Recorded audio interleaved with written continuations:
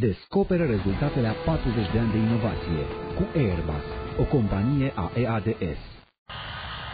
Acesta este cel mai mare avion de pasageri al tuturor timpurilor. O lume întreagă la lintă cu numele de Super Jumbo. Însă Airbus, compania producătoare, i-a dat numele de A380.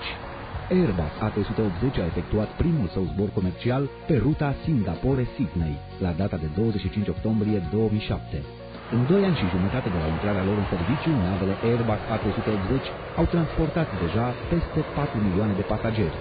Această performanță excepțională devine explicabilă dacă ne gândim la capacitatea neobișnuită de transport a acestui aparat de zbor.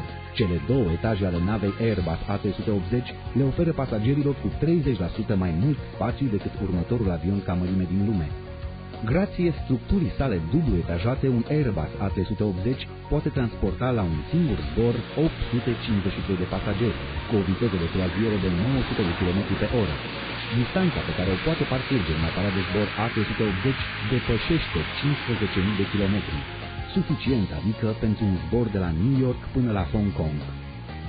Fratele militar al celui mai mare avion civil este Airbus A400M, un avion unic în lume prin elasticitatea cu care poate efectua atât transporturi tactice, adică în teatrele de operațiuni, cât și zboruri pe distanțe foarte mari, așa numitele transporturi strategice. Propulsia cu elice îi permite aparatului Airbus 400M să decoleze și să aterizeze pe distanțe foarte mici, calități vitale pentru oricare avion destinat transportului tactic.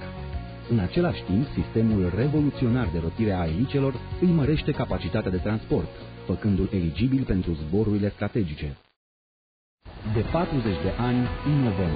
Asta vom face și în continuare, la Airbus, o companie a EADS.